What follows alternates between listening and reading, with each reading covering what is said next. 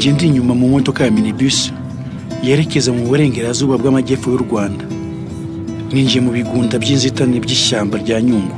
Mpimbuka ahantu hari icyezi. Aho ndi muri tagisi ndabasha kubona uruhehemure rw'imirima y'icyayi ruhereza imisozi y'u rwanda isa n'igenda yogoga aho najyaga ndahageze. Ni mu gasantere ka mushaka ku nkengero z'umuhanda mu murenge wa nzahaha. Abagabo n'abagore bambaye neza baranyuranamo hagati y'amaduka. Amazu n'ibitaro bikuru. Imiterere y'umujyi iragaragaramo akantu k'icyaro. Mu twatsi imbere ya kiliziya abana barakina. Se wa babiri muri abo bana anyicaye imbere. Afite inseko isusurutse kandi yambaye amadarubindi y'inziga z'utwuma. Nitwa ngirente filipo Mm, mfite imyaka mirongo itatu n'umunani. Navutse nyine muri igihumbi magana cyenda mirongo irindwi na kane umurenge wa nzahaha. Mu masaha make akurikiye muhuye n'umugore we matilda. Matilda yafashe ikiruhuko ku kazi ka leta kugira ngo aze kwita ku bana be.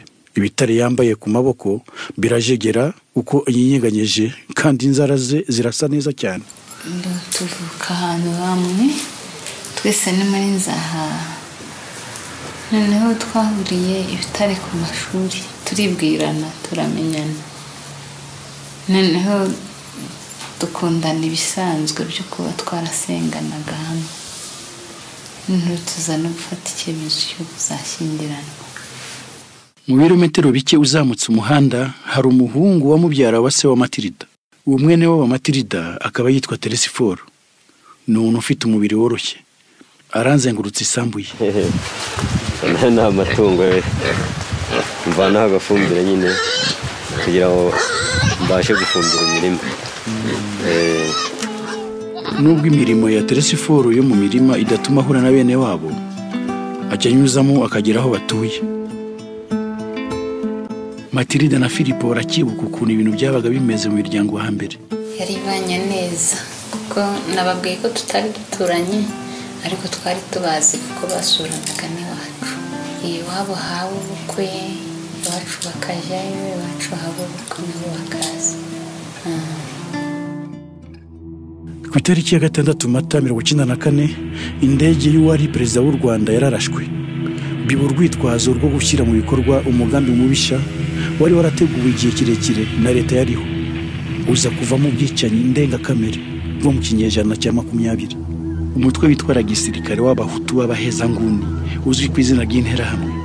Wibasiye abatutsi b'abasivili kimwe n'uwo ari we wese wafatwaga nk'ubahangayikiye abaturanyi bicaga abandi abavandimwe bica abandi. Abatutsi nka matilida na filipo bari mu makuba akomeye. Nk'umwana w'umukobwa matilida yibuka ukuntu byari bigoye cyane kubasha kubona ubwihisho bwamuha umutekano. Niho ngewe bampishe. Kwa mukuru we muri jenoside.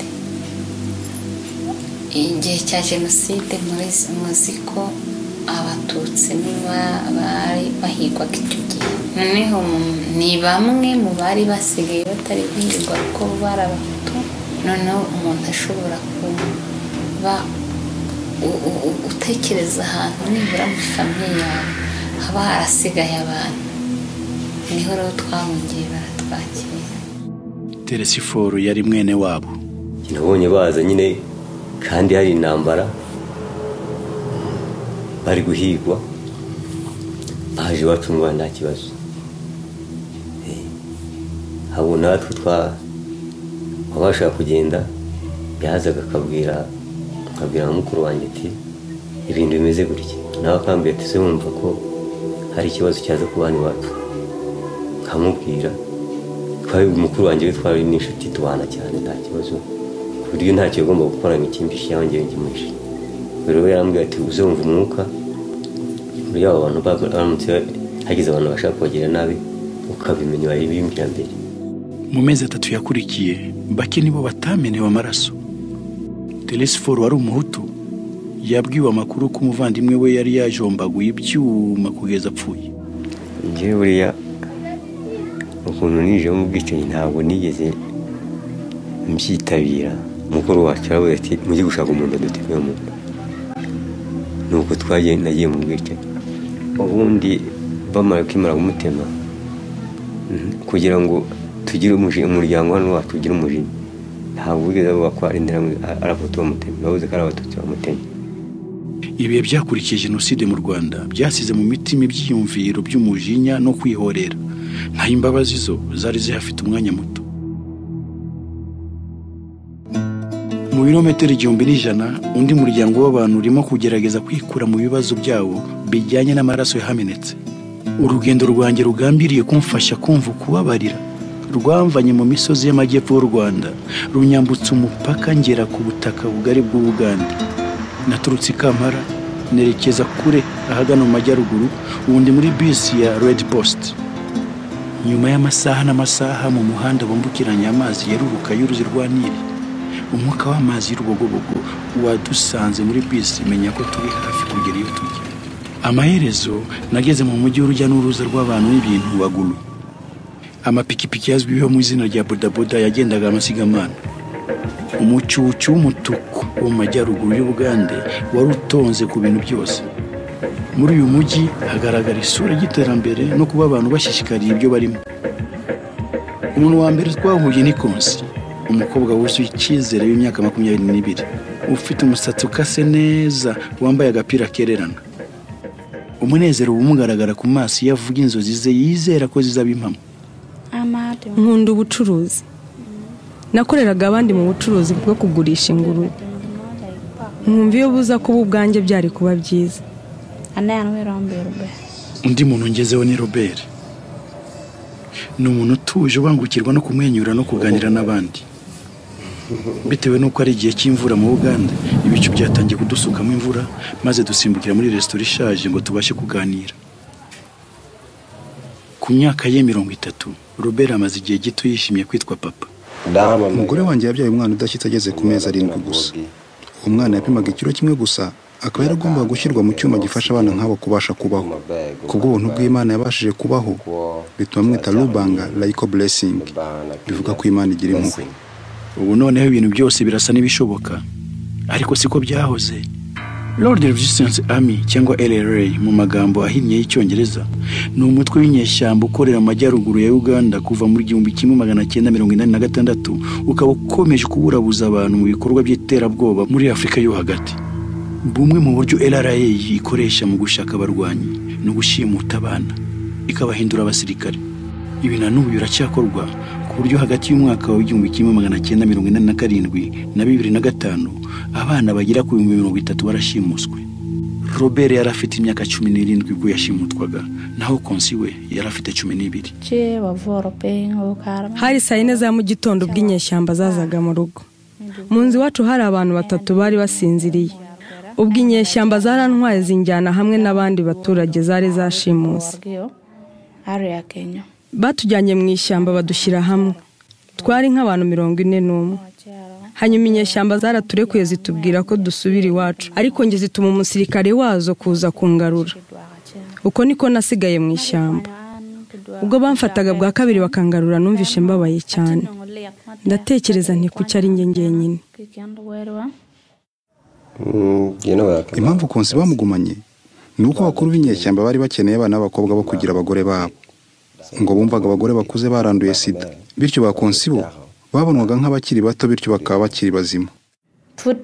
Nyuma y'icyumweru kimwe ndi mu ishyamba hamwe n'inyeshyamba.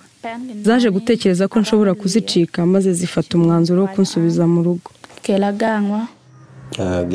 Hari impamvu ebyiri zatumaga abayobozi b'inyeshyamba basubiza abantu iwabo ngo bice umwe mu babo. Iya mbere yari ugutuma umuntu ashira ubwoba agahinduka igikura nkota indi yari ugukora ku buryo utazongera gutekereza kugaruka iwanyu. Sinibuka ibya konsi uko byagenze neza neza ariko icyo nzi ni uko nategetswe kumusubiza iwabo.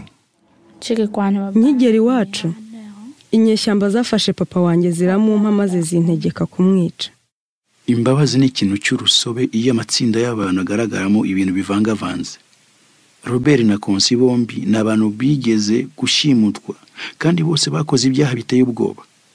Ku ruhande rumwe bagiriwe nabi. Ariko ku rundi banagize nabi. Barababaye ariko bababaza abandi ku buryo bukabije. Nanjye ubwanjye njya nibaza niba kubabarira bishoboka koko mu bintu nk'ibi. Mu myaka yakurikiye jenoside yabaye mu rwanda mushaka yari yarasenyutse. Mu gihe abarokotse nka matilda na filipo bagerageza kongera kwiyubaka mu buzima ibihumbi by'abakekwagaho kuba barakoze jenoside bari bafunze amagereza yarabaye mato.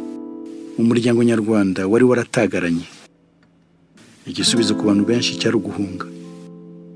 Teresiforo nawe mu bahunze niyo asigaye ntahise ngaruka ndaza nshyitsi bahita bafunga. Umwe mu bahoraga hafi y'abanyururu ni padiri eric umuntu ugaragaza itoto uhora amwenyura akaba ari umupadiri muri paruwasi gatolika ya mushaka. Aribuka ukuntu ibintu byari byarazambye n'ukuntu kongera guhembera amahoro mu bantu byari nk'ibidashoboka. Mu ntangiriro kuvuga imbabazi ibisebe bya jenoside bikiri bibisi byaragoranye. Ku ruhande rw'abacitse ku icumu hari abatarumvaga ko kubabarira bishoboka umuntu wakwiciye abantu cyangwa wakugiriye nabi. Ku ruhande rw'abari barangije tije hari abumvaga baremeye icyaha ku rwego rwa leta ugasanga tugira ingorane z'uko hari abasabye izo mbabazi bashaka kuva muri purizo ariko badashaka kuzabonana imbonankubone mu maso n'abo bahemukiye. Padiri eric kimwe n'abandi bapadiri bo muri iyo paruwasi bamubanjirije. Batangiye kujya basura abanyururu babashishikariza kwirega ibyaha bakoze. Babasabaga kubyirega haba kuri leta kimwe no ku bagize imiryango yabo bishya teresiforo yibuka ubwo abapadiri basuraga gereza yari afungiyemo twatangiye ba mbere gufata icyemezo cyo kwandika. Kwandikira umuntu uramuka waguze umunsi wamwandikira agati ngewe ibintu nimba utazi umuntu yaguye yaguye hamwe runaka twebwe imbabazi ntabwo tuzifata kuri rwa rwego rw'impapuro yanditse muri purizo avuga ngo nsabye imbabazi umuryango nyarwanda nsabye imbabazi guverinoma y'u rwanda nsabye imbabazi. Navuze ko abantu babiri nibo bafite urufunguzo rw'ubumwe n'ubwiyunge. Ni uwahemutse n'uwahemukiwe. Imwe mu nzira ubutabera bw'u rwanda bwifashishije ngo bubashe gukemura ibibazo by'umubare munini ukabije w'abanyururu bashinjwaga jenoside. Ni inkiko gacaca. Ni ukuvuga ko abanyarwanda basanzwe bagombaga kugira uruhare mu gushakisha ubutabera n'ukuri ku byaha bigize jenoside. Muri mushaka urukiko gacaca rwateraniraga ahantu ku mbuga rimwe mu cyumweru. Mu mwaka w'ibihumbi bibiri na karindwi filipo yoherejwe ubutumire mu rubanza rwarebanaga n'iyicwa rya se kuri uwo munsi kandi teresiforo yasabwaga guha amakuru urukiko. Uwo munsi hari undi muntu nihariye ko twamwishe hariya hakurya ku kibirezi tuvuye ku kibirezi tugiye iruhuko aho twashyikiye aho ngaho bari batemye umuntu wanjye twasanze abantu bageze nko kuri bane abantu baricwa abo narabavuze nibo nahereyeho. Tuvuga ko twavuye ku kibirezi tutarasa iruhuko mpura n'uwo musaza nawe nawe agapfa duhita dukata dutaha. Ntabwo yari amuzi kuko no turi kuburana mu nkiko gacaca yaburanaga avuga umuntu w'umusaza atazi. Niho twaje gusanga nyine uwo avuga ko atarazi ni ari we papa. Kuri rero ikintu cyaje gukomera kurushaho na n'ubu ntarasobanukirwa ni ukuntu uwo muntu wishe papa yari yahishe umugore wanjye. Numvise ngaho isi indangiriyeho numvaga ari ibintu biteye isoni n'ikimwaro. Se aba bantu tuzongera kuvugana gute? Ari ababyeyi ba mutirida yumva ko ari njye wakoze biriya. Bazabyumva gute? Yavuye ku ntebe yari ari bansanga kubera nicayeho ariho twicara yaravuze ngo aba ngaba nibo bandokoreye umugore. None ni nabo banyiciye nakora iki? Ati njye ndamubabariye. Ariko nubwo mubabariye leta ikora ibyayo ariko nyuma yaho azaze azana inzoga ayizana iwanjye ari kumwe n'umuryango we nanjye nzaba ndi kumwe n'uwanjye tuganire. Dusubire muri tuvuge hano nabajije matiride uko yafashe ibyo bintu. N'ukuntu yumvaga amerewe ari imbere y'umuntu wishe sebukwe. Nyamara akaba na mwene wabo kandi yaramufashije kurokoka. Nta kidasanzwe ahubwo numvise nabwo ari amahirwe kuba nabo bamenye aho se yiciwe ndetse n'uwabishe ku buryo nibura nawe ari ufite umutima wumva yakwiyongera mu bo tuzababarira. Njye niko nabifashe. Igisubizo yampaye kinyibutsa ukuntu kubabarira ari ikintu cy'urusobe cyane cyane iyo abagize umuryango barebwa n'ibibazo. Tugaruke gatiguru konsi yambwiye ko niba koko nkeneye gusobanukirwa n'inzira igana ku kubabarira ngomba guhura na mama we. Ubwo gahunda yarafashwe. Izuba rikirasa byagaragara ko hari bube igitondo cyiza kitari buburemo akavumbi ubwo twapakiye mu modoka ibintu bimwe na bimwe turi bukenere maze umujyi n'ibyawo tubisiga inyuma. Twafashe urugendo rw'imodoka tugana mu majyaruguru ku musozi wa omeri kuru. Inzira ijya mu rugo ni nziza nubwo ari ndende kandi ikaba igenda ikatakata. Yamanuye ikirahuri izuba rimukubita imirase yaryo ku kuboko. Yari yisanzuye kandi yishimiye kuba agana iwabo.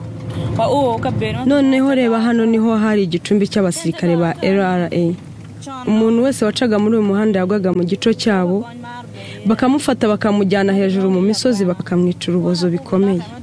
Nahabaye igihe kirekire ari nabwo abantu benshi bashimutwaga babaga ari abonzi. Buri gihe iyo ndebye iriya misozi binyibutsa ibyabaye ariko nkumva ko bitazamfasha. Uko biri kose noneho ubu ndi hanze kandi mfite umudendezo. Twageze kuri santire y'ubucuruzi ya omeri kuru. Turaharenga turakomeza. Umuhanda waje kugera mu rusekabuye maze amaherezo dusohoka mu modoka dutangira kugenda n'amaguru. Ibyatsi twanyuragamo byari birebire bihuru na byo ari inzitane.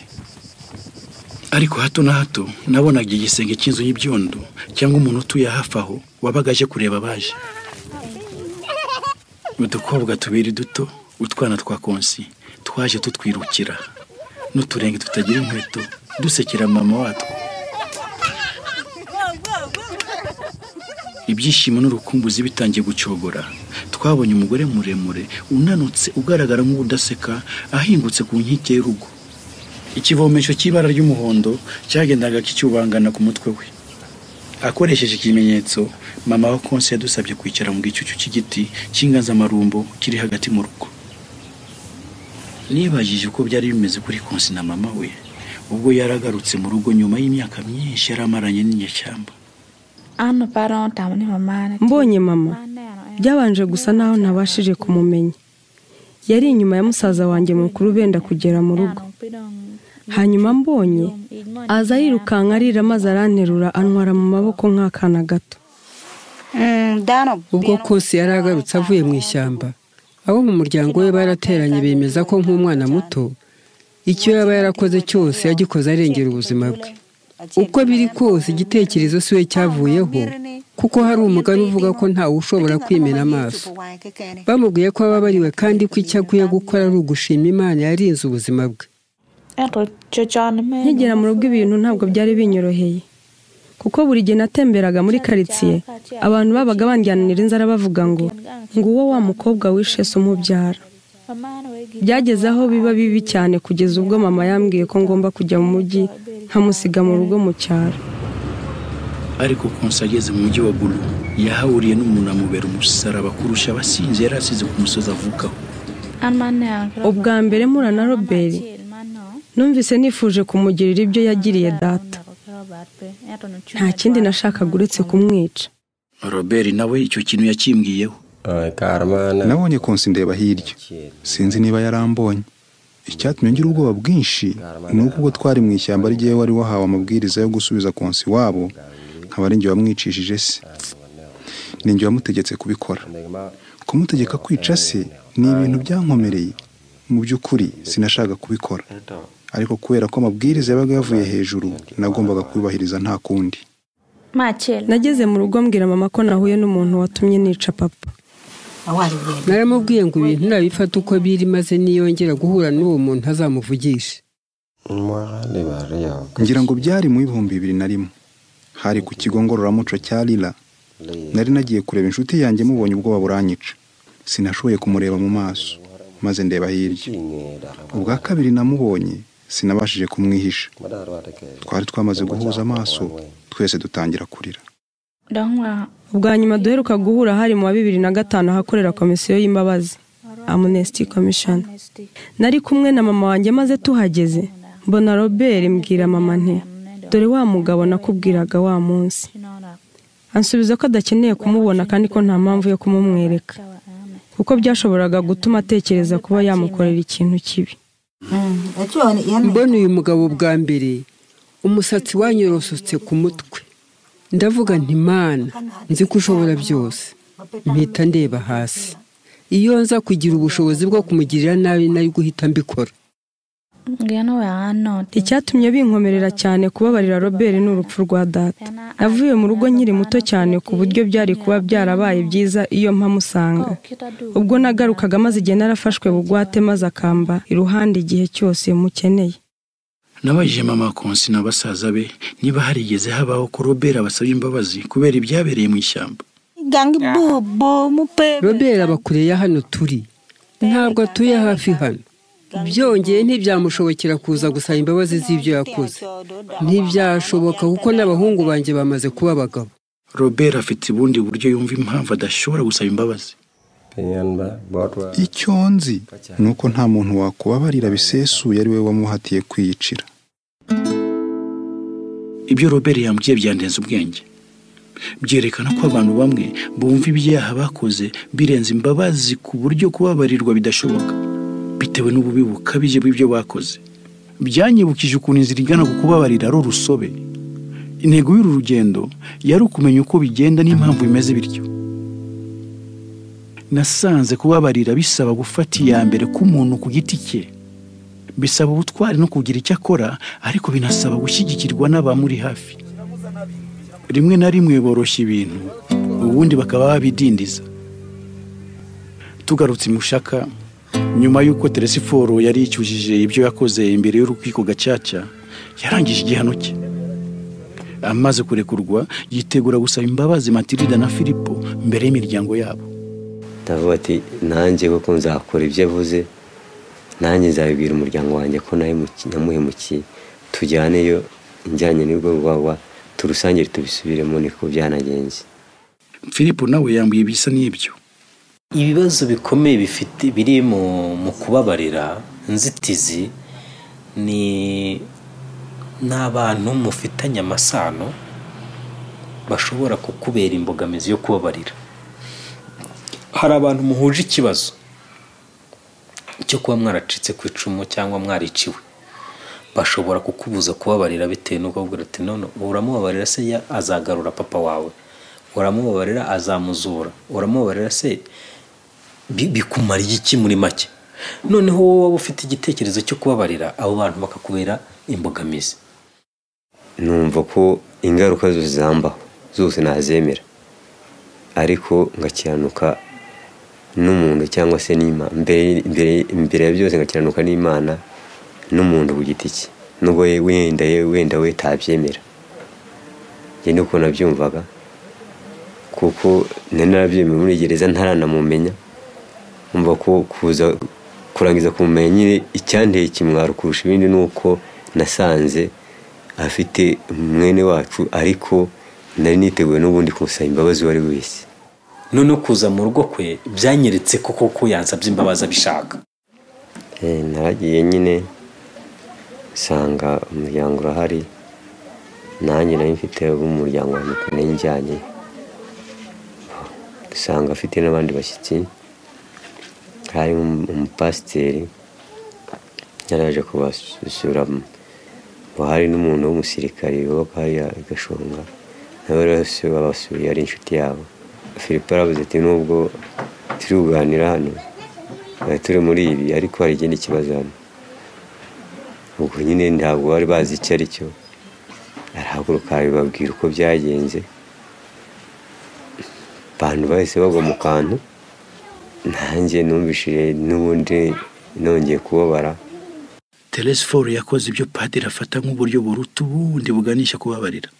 Guhura kw'abantu imbona nkubone. Ariko rimwe na rimwe guhura bisaba ikiguzi. Njyewe na yo mfite ipfunwe kubera ko nabuze icyaha. Narebaga abantu nkumva mfite ipfunwe nyine turi kubivuga twarari twasubiye kurira birangiye dukomeza kuganira bisanzwe. Turangiza baduherekeza. Ariko nanone naje gusanga kubabarira bidasobanura ko umujinya cyangwa ububabare byabaye birangira. Rimwe na rimwe ikiba kiri inyuma yo kubabarira ni ugushakisha amahoro y'umutima cyangwa kurengera imibanire cyangwa nanone kubaka igihugu. Urugendo rwanjye rwanyingije mu buzima bw'abantu ku giti cyabo. Bari mu nzira zinyuranye zishamikiye ku makimbirane anyuranye banyuzemo. Nibaje niba uko wumva kubabarira byamfasha kumva ibyo banyuzemo. Teresiforo ni ho numvishije ko ntangiye kugarura uwo muntu. Ko numvishe mu mutima wanjye ari ikintu gihindutse.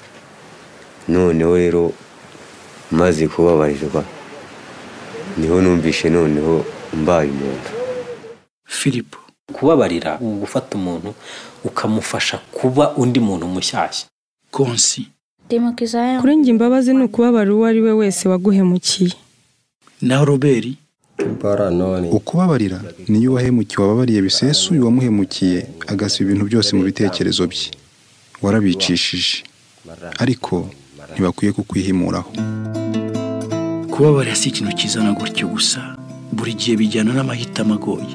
Ariko ku bahitamo kubabarira babikora ngo babashe kugira amahoro kurushaho. Haba muri bo ubwabo kimwe no mu mibanire n'abandi baba hafi yabo.